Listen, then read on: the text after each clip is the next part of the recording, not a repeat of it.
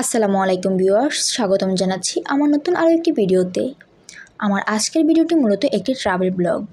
তো আমি ভিডিওটি শুরু করার আগে অবশ্যই আমার চ্যানেলটি সাবস্ক্রাইব করে পাশেই থাকবেন।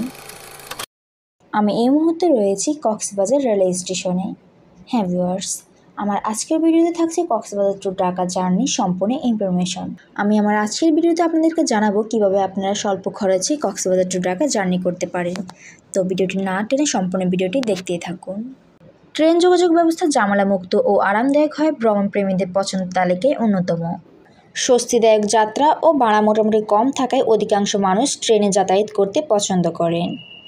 সম্প্রতি বাংলাদেশের প্রধান পর্যটক কেন্দ্র কক্সবাজারে যুক্ত হয়েছে Dhaka to Cox's Bazar train service. পর্যটনের প্রাণকেন্দ্র এই কক্সবাজারে এতদিন সড়ক ও বিমান সার্ভিস থাকলেও ট্রেন সার্ভিস যুক্ত করছে নতুন মাত্রা। কক্সবাজার এক্সপ্রেস ট্রেন বাংলাদেশ রেলের পূর্বাঞ্চলের অন্তর্গত একটি বিরতিবিহীন আন্তনগর ট্রেন, যা দু হাজার তেইশ সালের পয়লা ডিসেম্বর থেকে ঢাকা থেকে কক্সবাজার রেল স্টেশন পর্যন্ত নিয়মিত চলাচল করছে। ট্রেনটি ঢাকা টু কক্সবাজার রুটে সপ্তাহে ছয় দিন যাত্রা নিয়ে চলাচল করছে। মাত্র আট ঘণ্টা পঞ্চাশ মিনিটে ঢাকা থেকে চট্টগ্রাম হয়ে কক্সবাজার রুটে প্রতিদিন পাঁচশো একান্ন কিলোমিটার পথ পাড়ি দিচ্ছে। এই কক্সবাজার এক্সপ্রেস ট্রেনটি ঢাকার ভ্রমণকে করছে আরও সহজ, আরামদায়ক ও সাশ্রয়ী।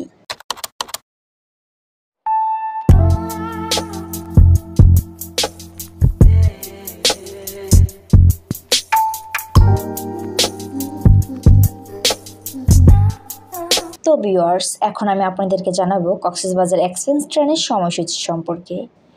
ঢাকা থেকে রাত দশটা তিরিশ মিনিটে যাত্রা শুরু করে বিমানবন্দর এবং চট্টগ্রাম স্টেশনে যাত্রা বিরতি দিয়ে সকাল সাতটা বিশ মিনিটে কক্সবাজারে পৌঁছাবে। পরবর্তীতে দুপুর বারোটা তিরিশ মিনিটে এই ট্রেন ঢাকার উদ্দেশ্যে কক্সবাজার ছেড়ে যাবে এবং পৌঁছাবে রাত নয়টা দশ মিনিটে।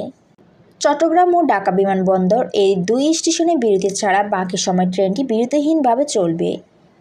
সাপ্তাহিক ছুটির দিন মঙ্গলবার। এছাড়া ট্রেনটি সপ্তাহে ছয় দিনে চালু থাকে।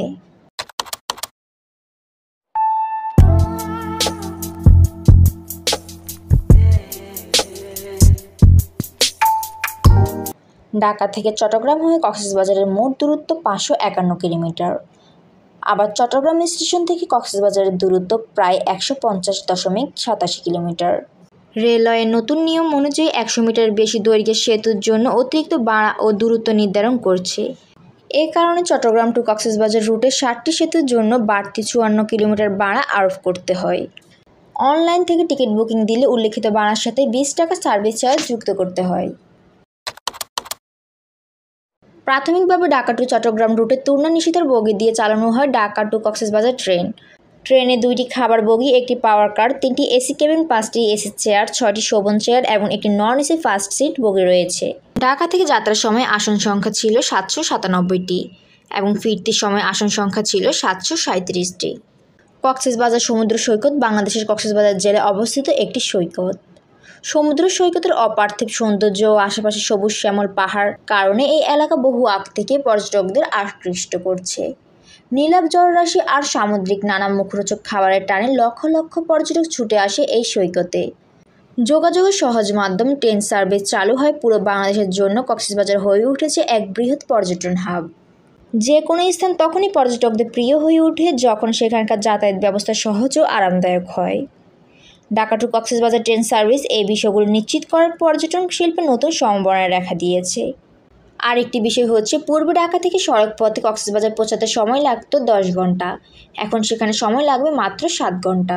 যাত্রার সময় কমে যায় কক্সবাজার দেশি বিদেশি পর্যটকদের নতুন করে আকর্ষণ করবে। তো ভিওয়ার্স আমার আজকের ভিডিওটি এ পর্যন্তই। আমি আমার আজকের ভিডিওর মাধ্যমে আপনাদেরকে কক্সবাজার টু ঢাকা ট্রেন ট্রাভেলের কিছু ইনফরমেশন দেওয়ার ট্রাই করেছি। তো আপনাদের যদি ভিডিওটি হেল্পফুল মনে হয়, তাহলে অবশ্যই আমার চ্যানেলটি সাবস্ক্রাইব করে পাশে থাকবেন। সবার ভালো থাকা কামনা করে আমার আজকের ভিডিওটি এখানে শেষ করছি। আল্লাহ হাফেজ।